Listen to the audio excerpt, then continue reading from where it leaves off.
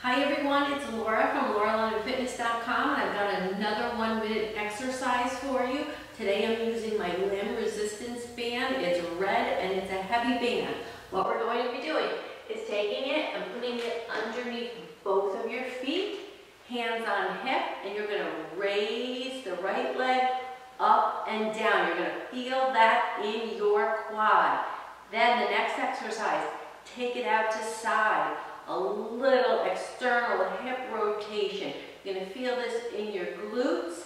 And the last exercise is just slipping that band forward and pushing it forward. You're to feel that in your quad. Love it. Do 10 to 15 of each exercise and then switch it to the other side because you know you've got two sides. These are little exercise bands of love and torture. Go and do the exercises and I'll see you on the next video.